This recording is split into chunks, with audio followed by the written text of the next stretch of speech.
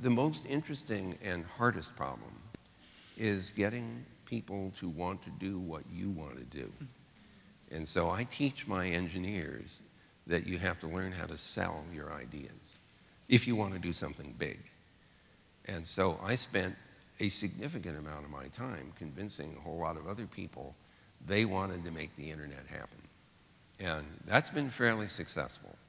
And part of the reason uh, is that a lot of people decided they wanted this to happen. They wanted to participate in it.